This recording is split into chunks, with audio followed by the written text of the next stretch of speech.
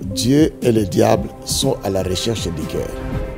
Tu peux avoir les prophéties, euh, tu peux avoir les miracles, mais si le cœur n'est pas dans les mains de Dieu, tu peux être pasteur, serviteur de Dieu, 10 ans, 20 ans, toute ta vie.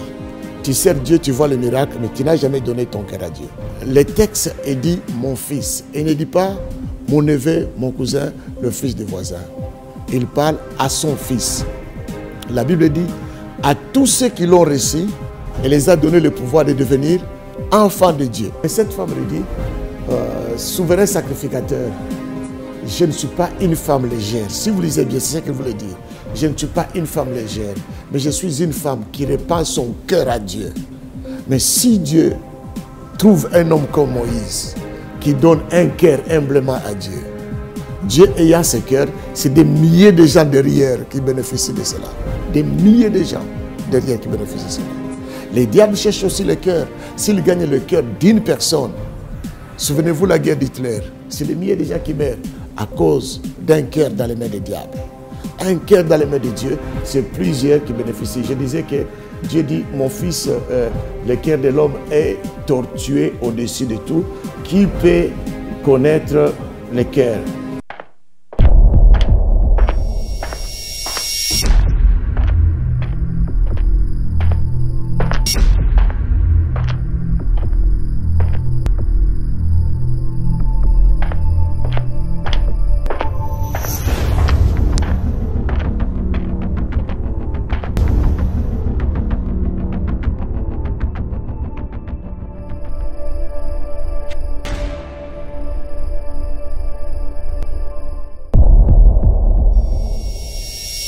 Tel père, tel fils. Telle une déclaration que nous disons chaque fois. Lorsqu'on voit un fils, on sait déjà caricaturer ce qui est son père. Pour aujourd'hui, nous allons parler de ces sujets un peu pertinents parce que il se constate dans l'exercice de certains ministres de Dieu un écart, un éloignement dans les chefs de leur lien, ou soit dans le lien qui les unit avec leur Père qui les ont engendrés dans cette œuvre évangélique. Mon fils, donne-moi ton cœur. Tel est le sujet sur lequel nous allons débattre sur ce plateau avec l'homme de Dieu, les bishops OPC Okitankoy, qui nous revient encore des États-Unis d'Amérique pour apporter une lumière sur cette question qui taraude de fois nos esprits. Je salue comme ça l'artiste musicienne, chantre de l'éternel, qui y a un jour chanté De qui es-tu fils? Il a posé cette question, c'était une question pertinente, parce qu'il s'est constaté, il s'est remarqué une chose. Nous allons découvrir, nous allons avoir de réponses sur cette question sur le chemin de la vérité.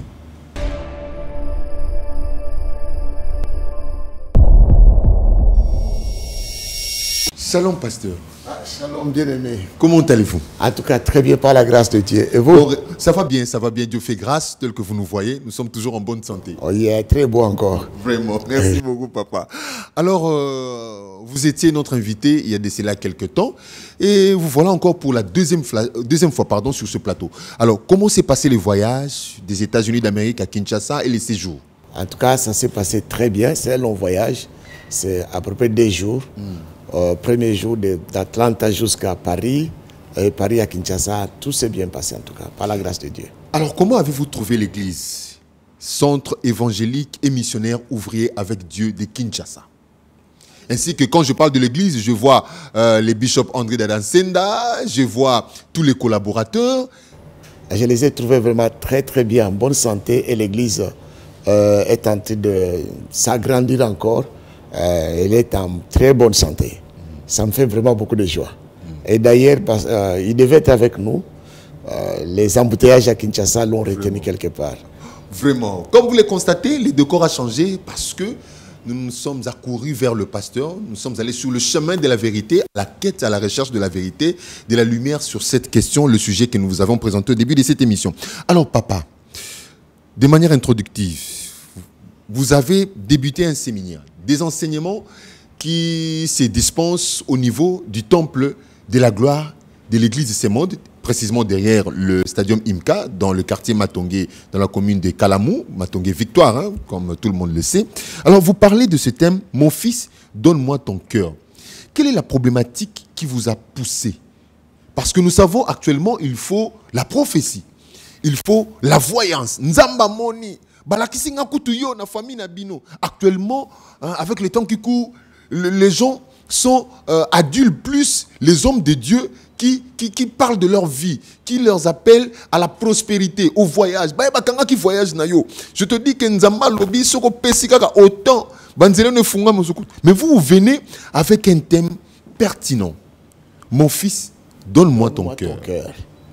Euh, vous savez, euh, le cœur, c'est la vie de l'homme. Dieu et le diable sont à la recherche du cœur. Tu peux avoir les prophéties, euh, tu peux avoir les miracles, mais si le cœur n'est pas dans les mains de Dieu, à la fin du compte, tu verras où sera ta vie. Il y a qui, les miracles, c'est pour un temps et puis ça passe. La prophétie, c'est pour un temps, puis ça passe. Mais le cœur, c'est toute ta vie. Le diable veut le cœur. Tous les combats qu'il fait, c'est pour que ton cœur lui appartienne, que ce soit un terrain d'action. Et Dieu veut le même cœur là, parce que c'est lui qui l'a créé. Il est à la recherche de ce cœur. Jésus est mort pour gagner ce cœur là. Le Saint-Esprit est venu pour gagner ce cœur là. C'est ainsi, ce texte m'a beaucoup perturbé lorsque j'étais devant Dieu. Euh, je méditais sur ce texte qui est dans Proverbe 20 23, verset 26, il dit, mon fils, donne-moi ton cœur. Il ne dit pas, donne-moi tes yeux, il ne dit pas, donne-moi tes pieds, il ne dit pas, donne-moi ton argent, il ne dit pas, donne-moi ta maison, il dit, donne-moi ton cœur. Donnez-nous la référence, vous avez dit. le- Proverbe 23, 26e verset. C'est vraiment pertinent. Il dit, donne-moi ton cœur. Si Dieu demande le cœur, et c'est s'il a le cœur, il a tout. Et puis le verset est compliqué, il dit ceci, et que tes yeux se plaisent dans mes voix. Tu ne peux pas te plaire dans les voies de Dieu si tu ne lui donnes pas ton cœur. Ce que nous cherchons, la prophétie, c'est les voies de Dieu. Le miracle, c'est les voies de Dieu. Mais Dieu dit, donne-moi le cœur et tu verras mes voies. Tu lui donnes le cœur, tu verras ce que Dieu a pour toi. Tu gardes ton cœur.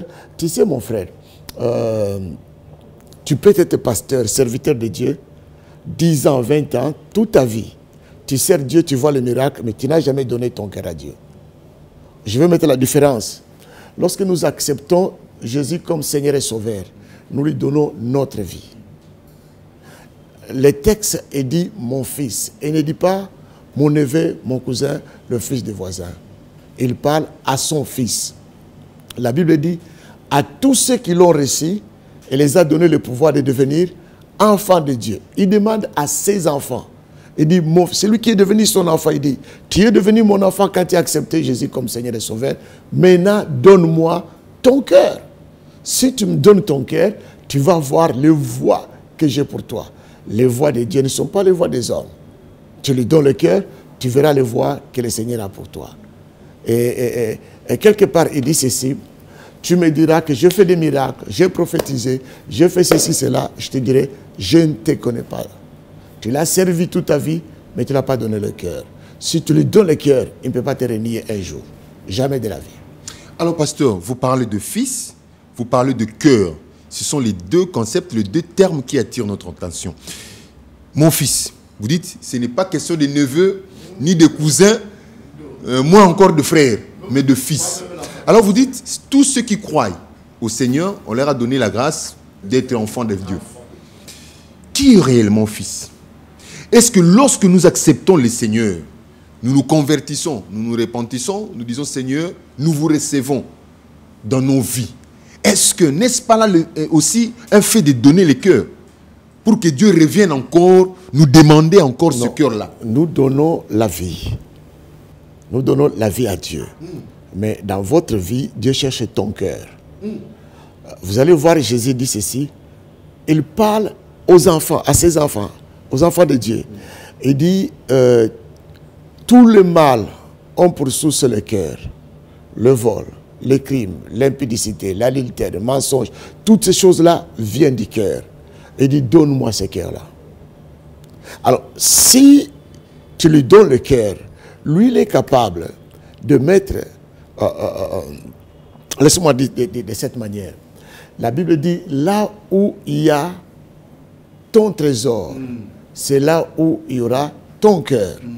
Tu as un trésor, c'est là qu'il y a ton cœur.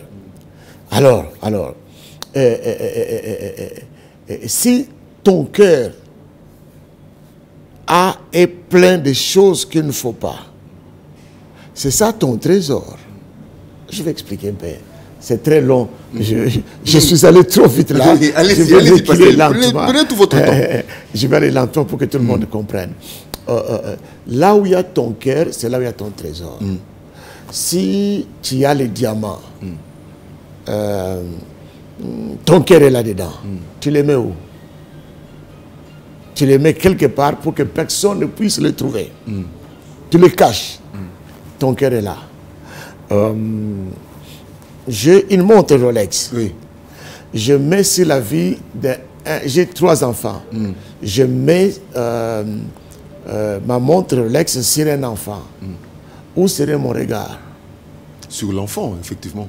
Quel enfant Sur qui vous avez posé. Elle la montre. Là, je vous permets hein, d'inverser les rôles. Vous devenez journaliste, moi je deviens alors le pasteur. L'invité. Euh. Euh. Là où tu as mis le Rolex, tu as le regard. oui, oui, sur le regard sur ça. Parce que, c'est là où est ton trésor. C'est ton, voilà, Oui. ton trésor. est là. Les yeux de Dieu, et là, là c'est son trésor. S'il gagne ton cœur et qu'il il peut enlever ce qu'il ne faut pas dans ton cœur, il met ce qui est à lui, ses yeux seront sur toi. Mais donne-lui le cœur, qu'il fasse de ton cœur son trésor. Bon, le mot trésor vient, euh, ça donne ce qu'on appelle trésoriser. Trésoriser. Trésoriser veut dire quoi? Amasser. Amasser. Amasser. Tu prends ça. Mais souvent, nos cœurs ont amassé avant Jésus-Christ. Beaucoup de choses qui ont rempli nos cœurs. Si, même quand nous sommes en Christ, il y a des choses qu'on a amassées avant de se convertir. C'est plein là. Alors, quand tu t'es converti, tu vas voir ces choses continuer avec toi. Continuer avec toi. Il dit, donne-moi mon cœur pour qu'il enlève tout ce que tu as trésorisé là-dedans pendant longtemps.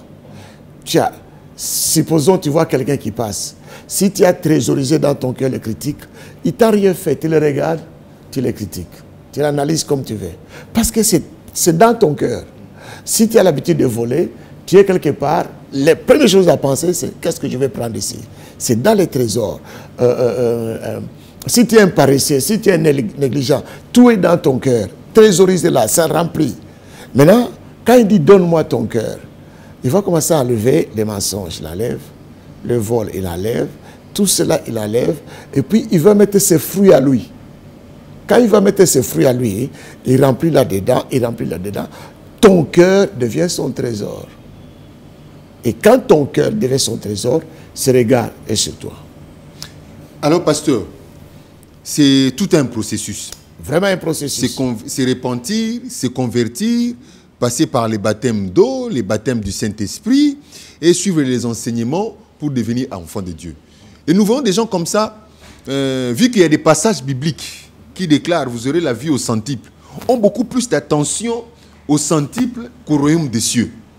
Les enseignements aujourd'hui portent plus sur les centuples sur la terre qu'au royaume des cieux. Alors, que faire? Que faire pour reconnaître réellement qu'on est dans le plan de Dieu? Parce que on se justifie de tout ça. Mais non, c'est Dieu qui a créé la nature, c'est Dieu, c'est Dieu qui a créé de l'eau, c'est Dieu qui a créé les habits, c'est Dieu qui a... Donc c'est lui la- le fondement, la base même de tout ça. Lui-même avait dit que nous serons centiples. Alors, que faire pour atteindre ce stade-là, d'avoir un cœur attaché à Dieu? Et comment savoir que maintenant, à ce stade ici, j'ai un cœur qui appartient réellement à Dieu? Écoutez, aujourd'hui, Parce qu'il y a des gens, beaucoup de gens disaient, oh non, tu ne vois pas David, l'homme selon mon cœur, malgré qu'il a péché. David était trop attaché à son esprit de convoitise, là. Ce qui l'a poussé même à commettre le péché d'adultère, là. Mais vous êtes là, tu ne vois pas Salomon. je- Salomon, je vais- je je suis vais en y train d'ouvrir, hein. Je vais arriver. Mm. C'était un livre préparé, c'était un grand chantier. Je viens d'enseigner ce thème pendant euh, euh, huit semaines. Huit semaines au moins trois jours par semaine. Heureusement pour tous les téléspectateurs de Digital Congo vont bénéficier ne fût-ce qu'en Voilà, 50 donc, minutes euh, ce message.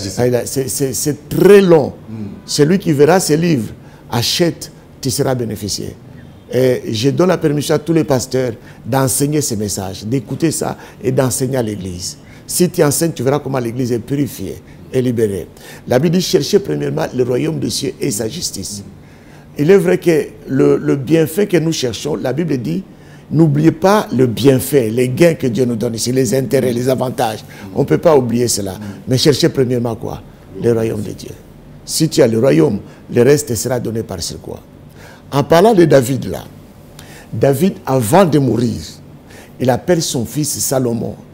Il dit, Salomon, je vécu avec ce Dieu.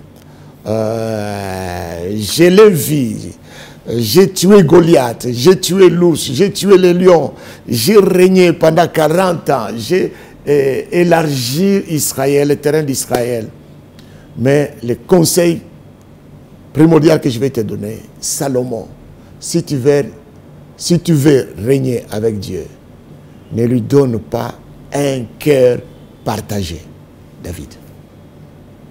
Il reconnaît comment il a partagé son cœur et ce qu'il a eu comme conséquence. Il dit, Salomon, tu veux aller loin, ne donne pas à Dieu un cœur partagé. Donne à Dieu un cœur Il y a une question derrière ça. Un cœur partagé, mais, mais- mais- bon, je ne sais pas. Parce que je peux poser la question. Allez-y, allez-y. Il ne faut pas donner à Dieu un cœur partagé. Ah, pasteur, là ça devient un peu compliqué. Compliqué. Permettez que je boive un peu de l'eau pour euh, rafraîchir ma voix. Allez-y. Mon lekampoyo qui makambo. Il ne faut pas donner à Dieu un cœur partagé. J'ai mes enfants. J'ai mon épouse. J'ai mes affaires. J'ai mon travail, mon business. Je suis aussi ministre de Dieu, ou je suis croyant, ou je suis fidèle, un, un chrétien. Mais comment savoir que ce cœur que je donne à Dieu euh, n'est pas partagé? Parce que, un moment, je peux aussi, comme on dit, à chaque, chaque chose à son temps. Un temps pour Dieu, un temps pour mes affaires, un temps pour m'occuper de mon foyer. N'est-ce pas là un cœur partagé? Et Dieu ne nous met pas dans la confusion comme ça. Non, et ne nous met pas dans la confusion. Cherchez d'abord le royaume de Dieu. D'abord Dieu, il est le numéro un. Je donne à Dieu sa place. Je mets mon cœur dans les mains de Dieu. Ma femme va bénéficier, mes enfants vont bénéficier, mon travail, le pays va bénéficier. Dieu va faire de moi un bon mari, un bon papa, un bon citoyen. Lorsque le cœur est dans ses mains. Totalement, pas partagé. Si tu commences à partager euh, moitié femme, moitié Dieu, tu perds dans ton mariage.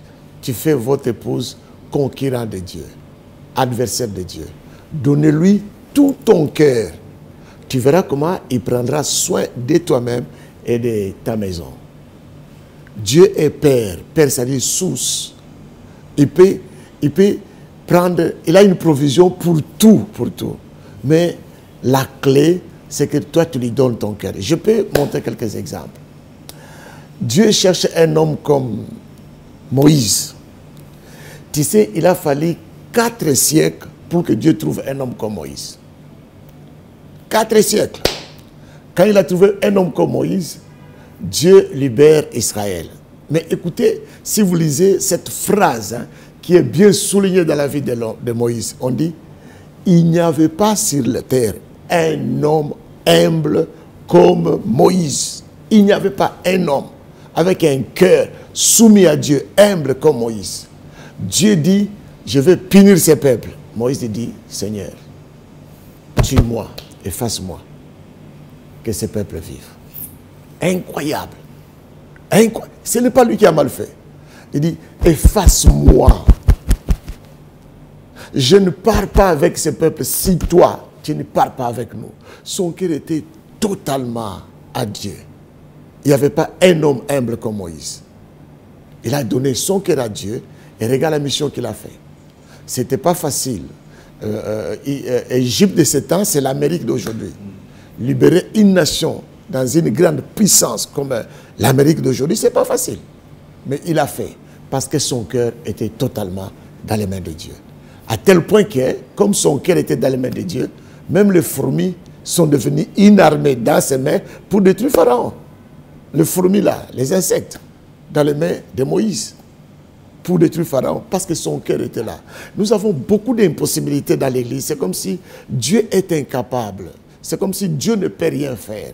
Et aujourd'hui, avec la voix que tout le monde prenne, c'est la prophétie, pas tout le monde euh, qui est ouvert à, tout le monde. Je ne suis pas contre la prophétie, j'aime la prophétie, c'est biblique. Mais la manière dont on l'utilise, tout le monde sera responsable devant Dieu. Mais si tu donnes ton cœur à Dieu, euh, mon pasteur me disait, au plus, tu n'as pas toujours besoin d'un prophète. Dieu n'a pas besoin de quelqu'un pour te parler. Dieu n'a pas peur de toi. Prie, reste là-bas à genoux. Dieu te parlera. J'étais petit, il me disait ça. Il nous disait ça. Ah, restez à genoux devant Dieu jusqu'à ce que vous écoutez la voix de Dieu. Donc, tu peux écouter la voix de Dieu. Tu peux écouter la voix de Dieu. Mais donne-lui ton cœur. C'est la priorité.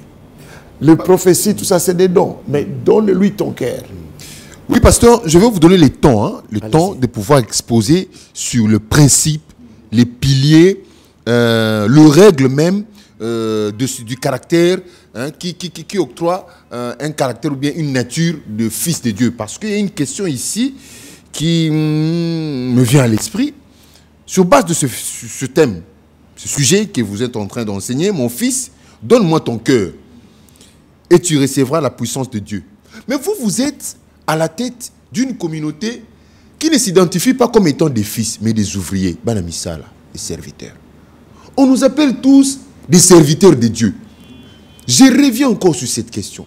Est-ce tous sommes fils de Dieu, tous qui avons cru en Dieu, ou il y a des fils de Dieu d'un côté et des ouvriers, Banamisala, des serviteurs de Dieu. Or, il faut savoir que dans la maison euh, du roi, les serviteurs ne se mettent pas autour de la table, ce sont les fils. il y a maintenant il y a une confusion. Ok, ça c'est une, appellation pour expliquer la mission que Dieu nous a donnée. Ouvrir avec Dieu, c'est-à-dire nous ne pouvons rien faire sans lui. Tout ce que nous pouvons faire, nous dépendons de lui. C'est comme ça qu'on dit qu'on est ouvrier avec Dieu. Sans lui, il n'y a rien qui se fait. Bon, maintenant, euh, à tous ceux qu'il a appelés, il les a donné le pouvoir de devenir enfants de Dieu. Qui est réellement enfant de Dieu? Bibliquement parlant, tout celui qui accepte Jésus comme Seigneur et Sauveur est un enfant de Dieu. Et il est venu chez les siens, les siens n'ont pas reçu, mais à tous ceux qui l'ont reçu, il les a donné le pouvoir de devenir enfants de Dieu, lesquels sont nés, non pas selon la volonté d'homme, mais selon la volonté de Dieu. C'est comme ça que j'ai dit, après que tu aies donné ta vie à Christ, Jésus vient, donne-moi ton cœur. Tu veux contempler mes voix? Donne-moi ton cœur. Tu me donnes ton cœur, tu contemples mes voix. Écoute ce que Jérémie 17, euh, euh, verset 9 a dit, il dit, le cœur de l'homme est tortueux par-dessus tout, qui peut les connaître? Le cœur de l'homme. Et Dieu dit, j'éprouve le cœur. Le cœur de l'homme est tortueux par-dessus tout. Tout le mal que nous voyons ici, c'est le problème du cœur. Les combats entre des nations, c'est le problème du cœur. Ukraine-Russe, c'est le problème du cœur. Congo-Rwanda, c'est le problème du cœur. Tout ce que nous vivons, Américains, ceci, c'est là, c'est le problème du cœur. Si tu regardes, je descends directement des États-Unis, paf, à Kinshasa, je trouve des motards partout, je trouve des petites voitures là, taxis partout, et des bus jaunes partout. La manière dont ils conduisent, tu vois que c'est un problème du cœur. C'est vraiment un problème du cœur tu, vois ceux qui, qui, travaillent au gouvernement, dans des compagnies, tu vas voir que c'est le problème du cœur. Mais si Dieu trouve un homme comme Moïse, qui donne un cœur humblement à Dieu, Dieu ayant ce cœur, c'est des milliers de gens derrière qui bénéficient de cela. Des milliers de gens derrière qui bénéficient de cela. Les diables cherchent aussi le cœur. S'ils gagnent le cœur d'une personne, souvenez-vous la guerre d'Hitler, c'est des milliers de gens qui meurent à cause d'un cœur dans les mains des diables. Un cœur dans les mains de Dieu, c'est plusieurs qui bénéficient. Je disais que Dieu dit, mon fils, euh, le cœur de l'homme est tortué au-dessus de tout. Qui peut connaître le cœur euh, Qu'est-ce qu'un homme pour que Dieu puisse prendre soin de lui? Mais Dieu a accepté de mourir euh, à cause de l'homme à la croix de Golgotha. si je pars dans Matthieu 15, 19, il dit, euh, car c'est du cœur que viennent les mauvaises pensées, le maître, les adultères, l'impédicité, le vol, le faux témoignage, les calomnies. Ces choses-là viennent du cœur. Tu vas dans l'église, tu trouves ces choses. Tu es chrétien, ça fait des années. Tu es serviteur de Dieu, tu es dans ton église là, tu trouves ces choses. Le maître, l'impédicité, les vols, le faux, le faux témoignage dans l'église, c'est plein, plein, plein, plein, plein, plein. Les faux témoignages, même au milieu pastoral, même au milieu ecclésiastique, tu trouves les faux témoignages, les calomnies, tu trouves. Tu passes là, tes collègues te critiquent. Et, dans Marc 7, 21, 22, ça c'est le grand maître, c'est Jésus qui parle, pas une autre personne. Il s'adresse à ses enfants.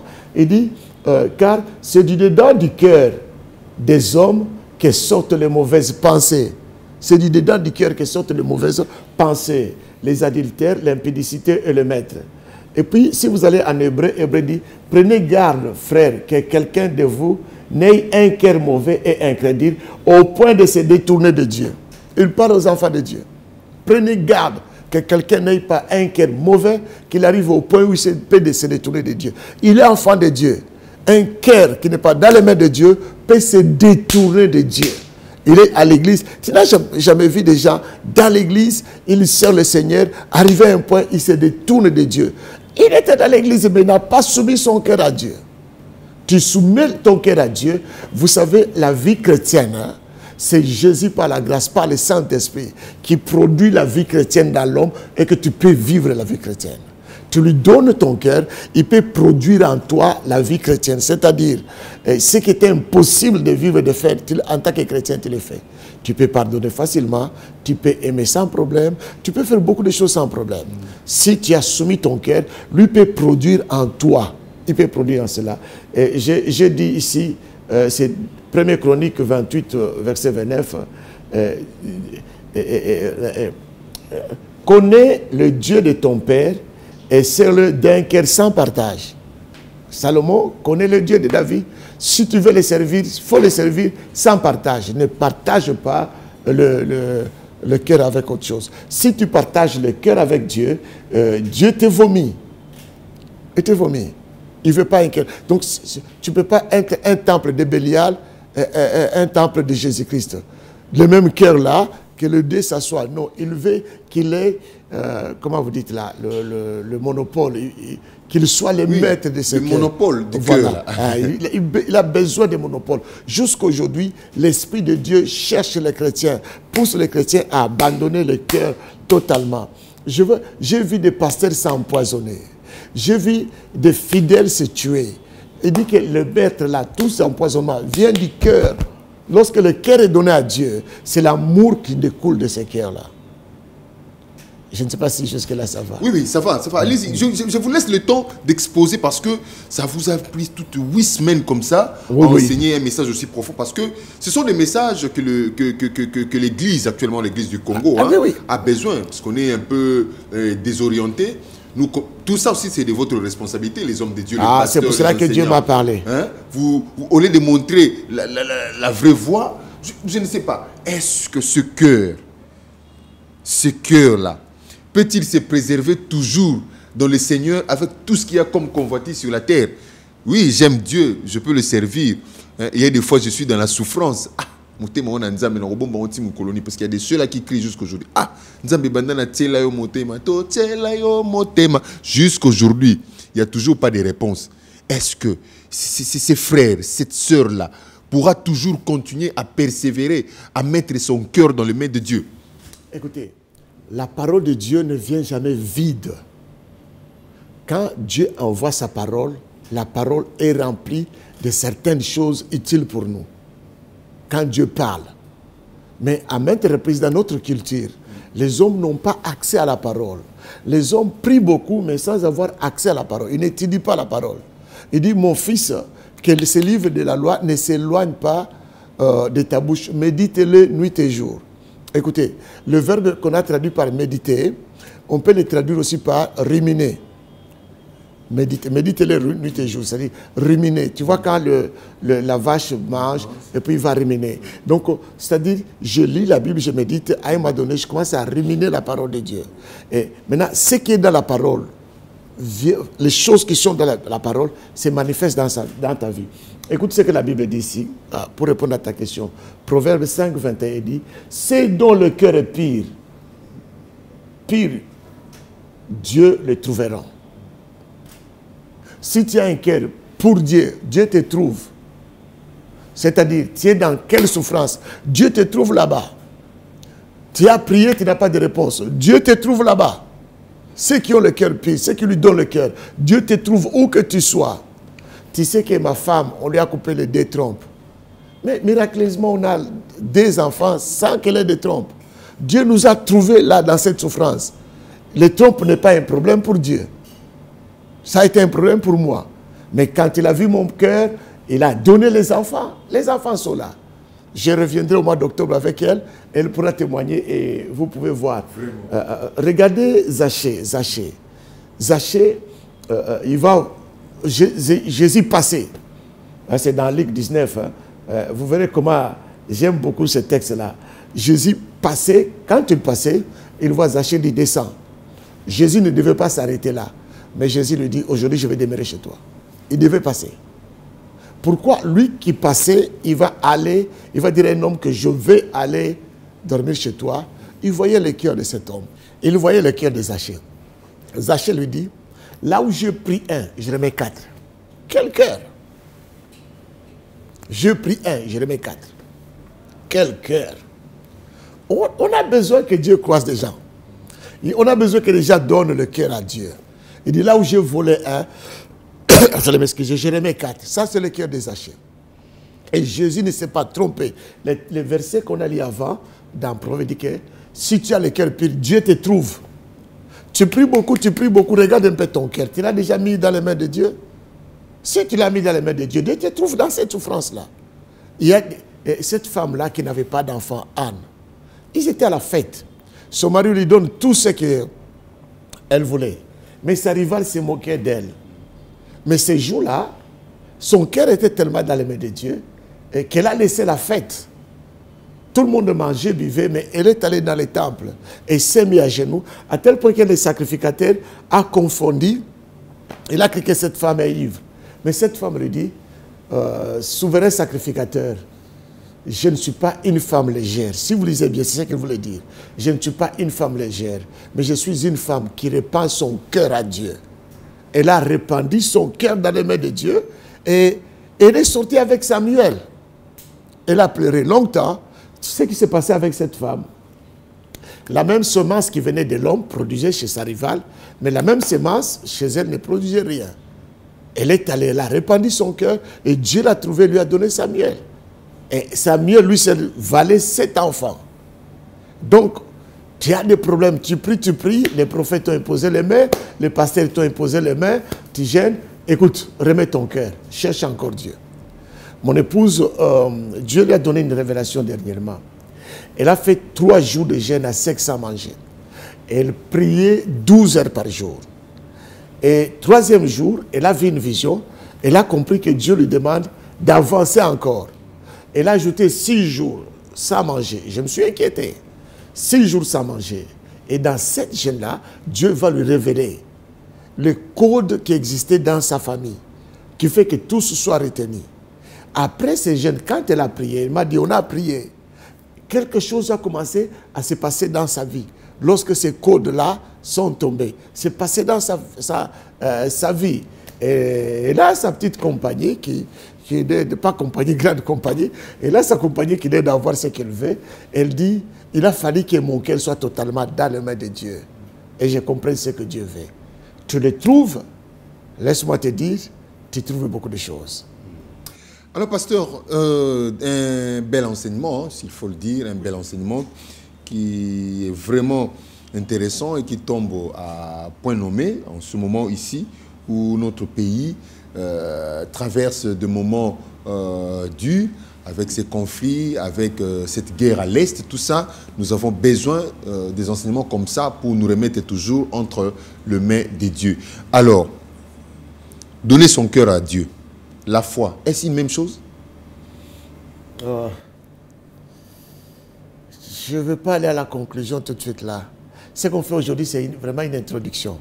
Je reviens au mois d'octobre où je peux aller étape en étape, chapitre par chapitre.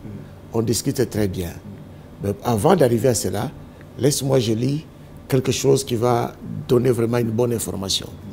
Si tu le permets, je Allez-y, lire. allez-y, on est là pour ça. Euh, euh, euh, c'est Proverbe 3, verset 5 à 18. 3, verset 5 à 18. Mais je ne vais pas lire tous les textes. Je vais expliquer une petite partie. Écoutez ce que la Bible dit. Confie-toi de tout ton cœur à l'Éternel et ne t'appuie pas sur ton intelligence. Confie-toi de tout ton cœur, pas un cœur partagé. Et ne t'appuie pas sur ton intelligence. euh, dans toutes tes voies, connais-les et il dirigera tes sentiers. Ne sois pas sage à tes propres yeux, crains l'éternel, éloigne-toi du mal. Euh, ça sera la santé pour ton nombril et un arrosement pour tes eaux. Honore l'éternel de tous tes biens. Oh, Voilà, voilà, voilà, voilà. Mais je reste ici sur le début là, il dit confie-toi Confie-toi de tout ton cœur à l'Éternel et ne t'appuie pas sur ton intelligence. Et dans toutes tes voies, connais-le, il dirigera tes sentiers. Confie-toi à l'Éternel. Confie-toi de tout ton cœur à l'Éternel. Lorsque tu te confies à l'Éternel, tu ne t'appuies pas à ton intelligence. C'est là qui vient la foi. La foi fonctionne avec l'intelligence. Je suis désolé de dire cela, mais il est difficile de me contredire. Bon, on attend, on attend jusqu'au mois d'octobre parce que là, ça devient un peu compliqué. Donc la foi vient après, après le cœur. Il faut que le cœur soit d'abord là. Non, et c'est alors je- se manifeste la foi, Je dis, la, la foi travaille avec l'intelligence. l'intelligence. Ce que tu ne comprends pas, tu n'auras pas la foi. Si on peut exclure la compréhension, l'intelligence, euh, le fou pouvait avoir la foi. Pourquoi un fou ne peut pas avoir la foi? Parce que l'intelligence est brouillée. On a besoin de connaître l'intelligence pour avoir la foi efficace. Vraiment. Le foi. ouais, ouais. voilà, nous partons, nous tendons petit à petit vers euh, la fin de cet entretien, comme le pasteur l'a dit. C'est une émission introductive et pour déjà nous mettre dans le bain de ces rapports entre Dieu et nous. Dieu veut que nous soyons des fils. Et Dieu veut, nous demande à nous, ses fils, de lui donner, de nous lui donner nos cœurs. Alors, pasteur, comment se présente un cœur donné à Dieu? Waouh Hein? Un cœur soumis à Dieu est extraordinaire. Je peux prendre le cas de David. David, pendant qu'on voulait oint le roi, il était en brousse, il n'était pas parmi les enfants. Et on l'a, euh, c'est comme si les parents ignoraient, mais Dieu a foncé jusqu'à ce qu'on amène David. Regarde, si tu prends roi Saïl et roi David, euh, Saïl, c'est un homme classique. Il est né dans la famille d'un businessman. Une famille, vraiment, une famille vraiment classique. Ah, voilà. Mais David, c'est quelqu'un de ghetto. Quelqu'un qui était en brousse avec des brebis. Vraiment, c'est le ghetto. Mais si vous regardez la manière dont ils ont régné, tu verras la différence. Vraiment la différence. Dav- euh, Saïl, il a désobéi, mais il ne s'est pas reproché. Il n'a pas fait comme David. Mais David, il a péché. Il a fait du mal. Même Dieu lui-même, David veut construire le temple. Dieu dit, David, tu as versé beaucoup de sang. Non, non, non, pas toi. Ton fils, oui, pas toi. Mais David fait le mal, Dieu veut frapper David. Dieu dit, j'envoie les ennemis, la maladie, tout ce qu'il a dit là. Écoute David. Seigneur, il dit d'abord au prophète, merci pour le message, prophète, mais Seigneur, ce que tu as dit là, c'est bon. Je refuse toutes ces punitions-là. Je vais tomber dans tes mains. Pourquoi? Tes compassions se renouvellent chaque matin. Il connaissait le cœur de Dieu. Un homme, c'est, un homme de l'Ancien Testament avec la pensée du Nouveau Testament. C'est rare de trouver des hommes comme David dans l'Ancien Testament. Il a, dans l'Ancien Testament, avec la pensée du Nouveau Testament. C'est lui qui a même inauguré la miséricorde de Dieu. Il a compris bien la miséricorde de Dieu, et plus que tout le monde. Euh, Donc, si on comprend bien, celui qui a le cœur entre les mains de Dieu se comporte comme un bébé, un enfant. qui non, sait pas comme que un bébé. Il a- euh, il a des- papa est là, papa est bon, papa va non, non, pardonner, non. compatissant. il comprend Dieu, il, il- il a des challenges, mais il s'appuie totalement à Dieu. Regarde, Saïl va à la guerre. On lui dit attends. Il n'a pas attendu. David va à la guerre. Dieu lui dit tu m'attends. Il a attendu Dieu. Et gra- David, c'était grave, il était en brousse. Dieu lui dit quand je viendrai, tu attendras le son de pas sur les feuilles. Euh, je serai là, on va à la guerre. David a patienté. Bien qu'il voyait les ennemis avancer, il était là, il attendait. Il dit, il sera là et j'aurai la victoire. Mais Saïl n'a pas.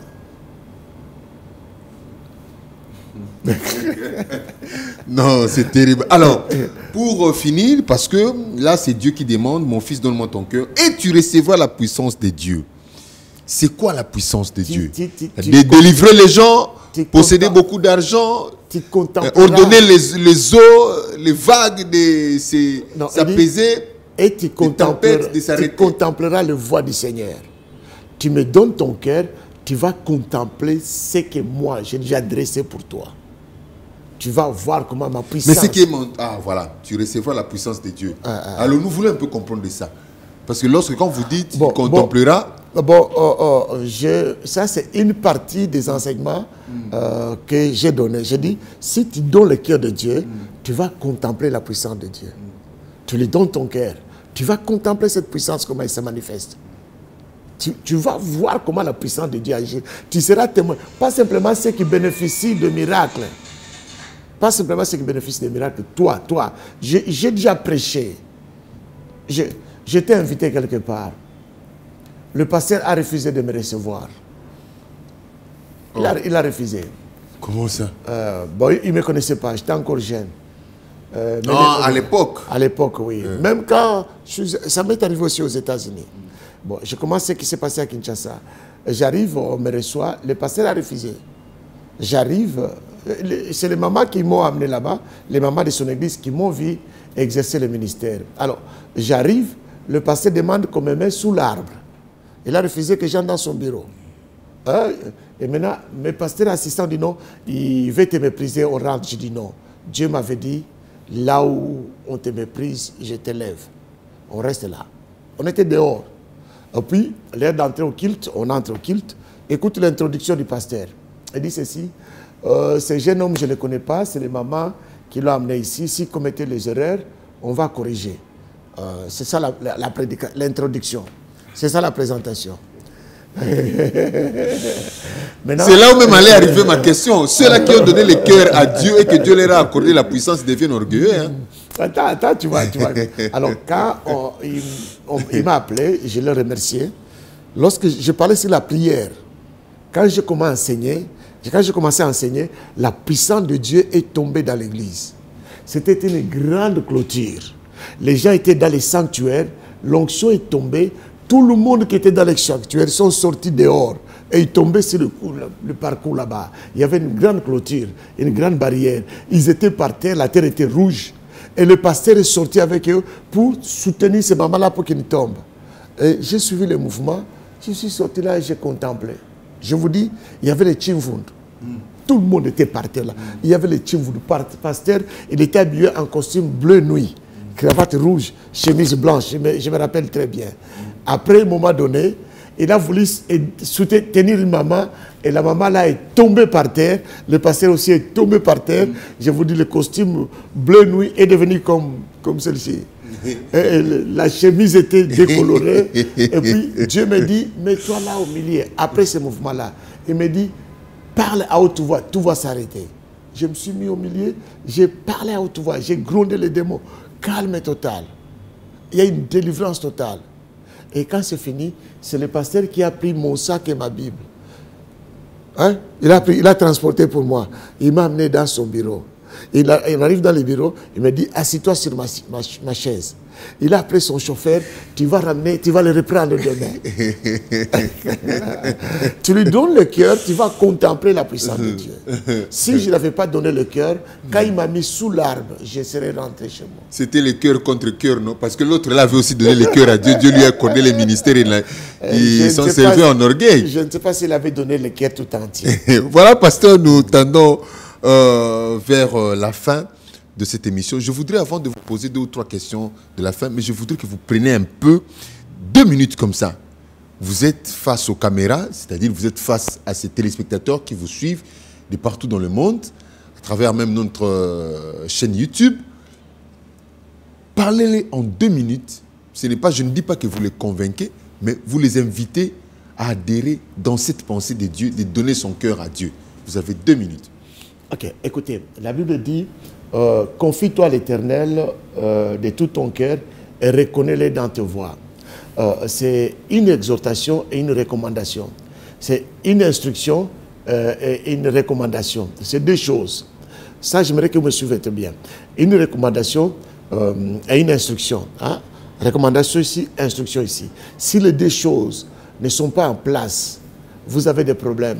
J'ai un problème dans mon corps parce que j'ai fait trois accidents. Euh, cette partie est un peu dérangée, ce qui fait que ma bassin, c'est un peu comme ça. Euh, euh, plus, il n'y a pas de balance. On dit balance? Oui, balance. Équilibre. il n'y a pas d'équilibre. Alors, comme il n'y a pas d'équilibre, si je veux courir, je ne peux pas. Si je veux aller vite, je ne peux pas. Ma marche est ralentie parce qu'il n'y a pas d'équilibre. Alors, quand Dieu donne euh, la recommandation et l'instruction, si ces deux choses-là ne sont pas respectées dans votre vie chrétienne, dans votre ministère, vous êtes débalancé et vous n'avez pas d'équilibre et la vitesse vous savez, la vitesse est très utile dans le ministère et dans l'église. Vous n'avez pas la vitesse qu'il faut. Vous allez lentement. Vous pouvez chasser les démons. Vous pouvez, on peut imposer les mains par les prophètes. Vous n'aurez pas la vitesse que vous désirez.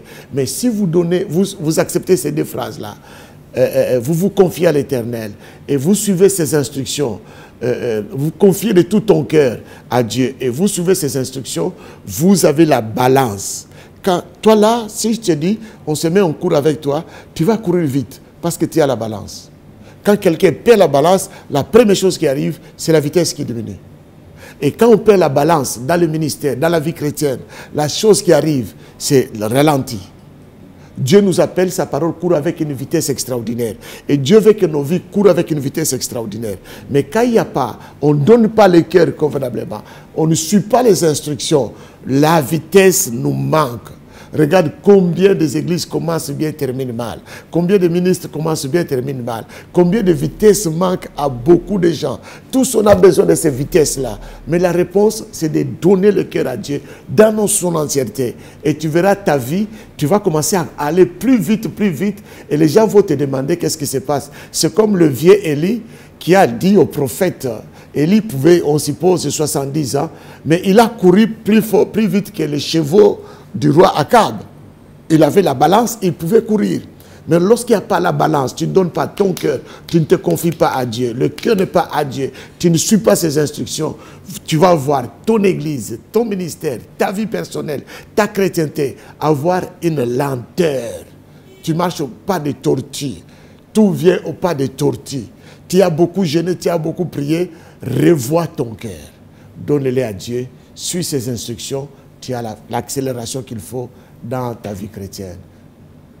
Merci beaucoup, pasteur. Nous sommes arrivés à la fin. Alors, si quelqu'un vous voudrait, bien veut vous contacter, il le fera par quel numéro? Parce que la fois passée, on a manqué de donner le numéro. On a été vraiment dérangé. Je voudrais que vous le fassiez vous-même, vos coordonnées, surtout qui sont sur Internet et qui sont sur WhatsApp. Ok. S'il y a des sites, le mail et les numéros WhatsApp. Ok, si quelqu'un veut me contacter, il peut passer par Facebook, il écrit simplement Bishop au PC, ou bien par YouTube, il écrit toujours Bishop au PC. Euh, si c'est WhatsApp, euh, c'est 1 678 707 49 43. Je reprends 1 678 707 49 43. Là, tu peux m'avoir facilement. ou bien il vous contacte. Ah ouais. si vous les contactez, sachez que vous mourrez facilement. Voilà, nous avons la permission. Hein, donc, euh, si vous n'avez pas bien retenu, vous pouvez nous appeler par les numéros qui affichent au bas de l'écran, de votre écran, et nous ne manquerons pas de vous donner les numéros, les contacts de Bishop OPC qui nous a reçus. Hein, dans le cadre qu'il accueille ici, hein, son séjour ici à Kinshasa. Pasteur, nous vous disons merci. Merci beaucoup. Merci de nous avoir euh, donné encore cette opportunité mhm. de vous recevoir dans notre émission. Ça a toujours été une bénédiction pour nous, non seulement pour nous, mais aussi pour tous ceux-là qui aiment la parole de Dieu. En tout cas, moi aussi, j'ai dit merci. Euh, euh, m'avoir, m'a invité, être avec moi, c'est une bénédiction. la visibilité est quelque chose dans le ministère. Jésus a pris une barque euh, pour parler au peuple, il avait besoin de la visibilité pour communiquer les messages. Et vous nous donnez cette voie-là. Que Dieu vous bénisse totalement. Et je reprends encore, si tu veux l'accélération dans ta vie chrétienne, dans ton ministère, viens écouter le message du cœur, ta vie va accélérer. Est-ce que les provinces euh, auront aussi l'occasion de vous avoir, comme Lubumbashi, le Grand Katanga, le Grand Kasaï, le Grand Bandundu, le Grand Kwater, le Grand Oriental et le Grand euh, Bas-Congo, Congo central Est-ce que vous avez une idée, un projet comme ça pour aller visiter les provinces du Congo parce que nous avons besoin de ces messages partout? Je suis ouvert à tous ceux qui m'invitent. Je suis ouvert. Je reviens au mois d'octobre. Je serai ici pour trois mois. À que tous ceux qui m'invitent, où qu'ils soient, je suis ouvert. Parfois, je voyage à mes frais. On m'invite, je voyage à mes frais moi-même, je me loge à mes frais pour que le message puisse atteindre le but. Donc, tout celui qui m'invite, je, je viendrai. Je ne peux pas être ici sans passer à Lubumbashi. Lubumbashi, c'est mon village. Euh, Bandundu, nous avons une grande communauté à Bandundu. Je viendrai. D'ailleurs, j'ai acheté des matériels pour bâtir, construire des églises qu'on a donné aux responsables, passés responsables de dimanche passé, pour qu'ils bâtissent des églises au Bandundu. Je serai là. Qui vous, vous m'invitez, je viens. Qui s'engage m'inviter, je viens. N'importe où. Même dans les villages, moi, ce n'est même pas un problème. Même là où je vais dormir par terre, ce n'est même pas un problème, pourvu que la parole soit prêchée correctement. Voilà, grande a été notre joie de vous avoir proposé cette émission. Nous disons merci beaucoup à toute l'équipe des connexions plus 243 pour le moyen technique mis à notre disposition pour la production de cette émission M3 Plus Agency. Merci beaucoup à toute l'équipe. Merci beaucoup à vous tous qui nous avez suivis de partout. Ça a été un grand plaisir, un grand honneur de vous proposer cette émission. On se retrouve. Je voudrais d'abord dire ceci. Retenez une chose. Il faut mettre la balance. Lorsqu'on donne son cœur, c'est une recommandation et aussi une instruction. Mhm. Cette balance nous permettra d'avancer plus rapidement. Plus vite. Et l'Église du Congo a l'obligation d'observer cette balance. D'observer cette balance. Ce n'est pas de marcher d'une manière boiteuse. C'est de marcher avec la recommandation et l'instruction du Seigneur pour voir beaucoup de choses changer. Merci beaucoup à vous tous qui nous avez suivis. Merci beaucoup à la haute hiérarchie de Digital Congo. Merci beaucoup aussi à notre chaîne YouTube, La Tour Télévision. Abonnez-vous massivement, likez nos, vidéos, euh, cliquez sur la cloche de notification pour avoir toutes les nouvelles et ne rater aucune qui seront disposées dans notre chaîne. Merci à vous tous qui nous avez suivis. Restez branchés sur nos programmes. On se retrouve prochainement avec un réel et le même plaisir. Portez-vous bien dans vos maisons. Au revoir.